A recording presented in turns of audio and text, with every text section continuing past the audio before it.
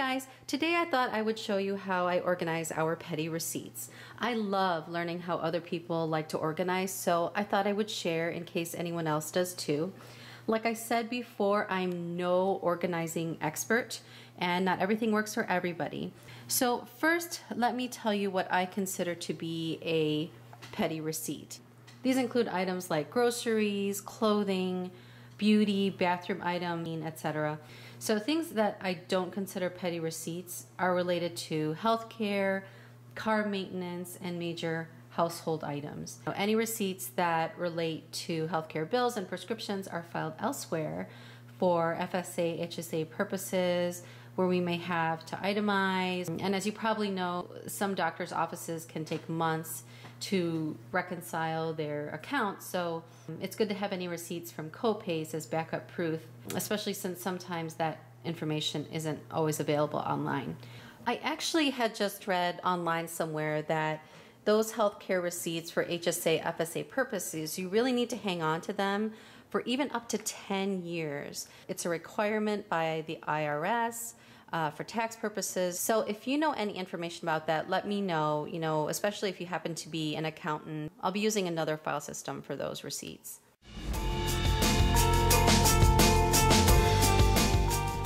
The supplies are super simple. I bought file folder enclosures from the Dollar Tree. The come in a three pack of red, white, and blue. I bought four of them to have 12 total, one envelope per month. Now I like having the snap enclosures because as you know, sometimes receipts can be really small and I'm less likely to lose them if they're an enclosed file envelope versus something like a regular file folder. They're all placed into two upright file boxes that I bought for like $3 or something like that from Ikea and the whole system is located in a part of the house I call my incoming outgoing system. So instead of filing petty receipts by category, you know, like groceries, clothing, etc., I like to file them by month. And this is really similar, if you've ever heard of the Freedom Filer system, um, similar to that in a way, in that it's self-cleaning. Um, but honestly, I did not want to get that system because it was too much for me. I, I wanted to simplify it even more. And plus I don't have $40 to spend on a filing system. Now as for real life application, what happened, it's super simple. Is whenever I empty my purse or I put away groceries or other shopping items, I just grab the receipts and toss them willy-nilly into the file folder. So for example, the current month is April and all petty receipts bought this month will go into the April folder. Any groceries I buy, any Dollar Tree Easter items, any spring clothing, etc. Any of those receipts I will just throw into this folder. I won't worry about date, I won't worry about category, I just throw them in here and I don't have to worry about it. Um, you could try to get even more precise and file the receipts within the folder by date from back to front. I could lie to you and tell you I do it that way, but I don't. Now, tomorrow is May 1st. So what I'm going to do tonight is take out the May folder. Now, as you can probably see, there are receipts already in this folder, and you're probably wondering why. You know, it's not like these receipts are from the future or anything like that. But these receipts are actually from last May, May 2013. For our needs, these receipts are super duper old and are way past their usefulness now. All of these get tossed into the shredder. And now this is completely emptied and fresh and ready to go for purchases this month, May 2014. Once this folder is full and June comes around, I'm gonna do the same thing with the June folder.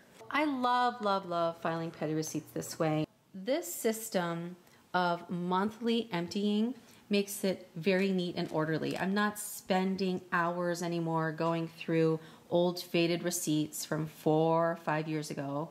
For me, it's easier to keep things organized if I deal with it in small doses. The reason I keep these receipts is because of any potential cash back down the road. That's one of the reasons.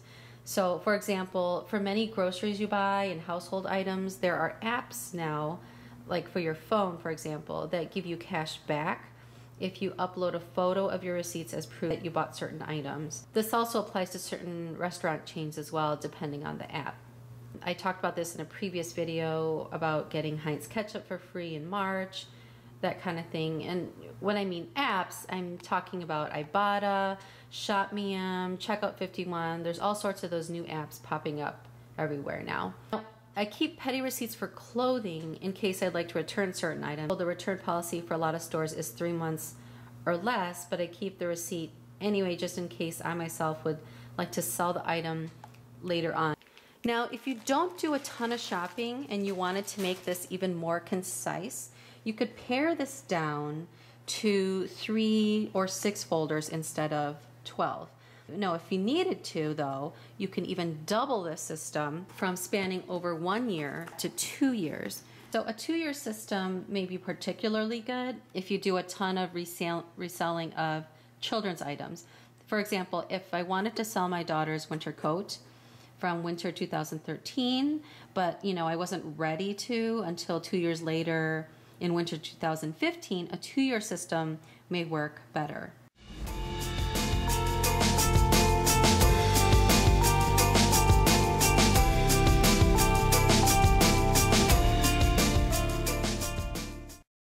So this here is an IKEA magazine rack that I had installed in a part of the kitchen right next to where I drop off groceries, clean out my purse, etc. I'm short, so I put the folder right at a height that I cannot avoid. And I even tuck in the top flap to make it open and ready for receipts. And the other stuff in this magazine rack, I have incoming magazines here, um, and old magazines are up here. And then once a month, I will empty out this and then put these magazines up there. Also, I have a little clippy thing. Uh, it's magnetic for any outgoing mail that has to be mailed out, you know, any cards or letters or checks I want to mail. And then I have hidden behind here the um, letter opener that we use. And it's, I put it behind here because just to keep the look more clean. And right next to that magazine rack is the rest of the petty receipt system. So this is what I was showing you earlier. Um, you know, the six month January through June and then July through December. And next to it, I have store catalogs and coupons um, you know, coupons to Old Navy, any catalogs to IKEA. But honestly, I try not to keep a lot of catalogs anyway because it's just too much paper and um, most of it's available online.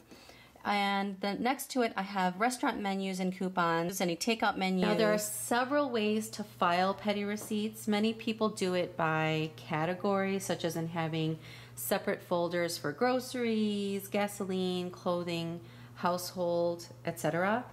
If you are very on top of this kind of system, more power to you. It just didn't work for me. I have found the categorical kinds of receipt filing to be too bulky and unorganized. Plus, when I actually needed to find the receipt, the whole point of having the system in the first place, it took me so much longer and I just would give up on it or not even bother anymore. Found it easier to find old receipts this way by filing by month because I can usually remember when I bought. I'm sure the there product. are going to be plenty of people that don't like the system or find it kind of messy and disorganized.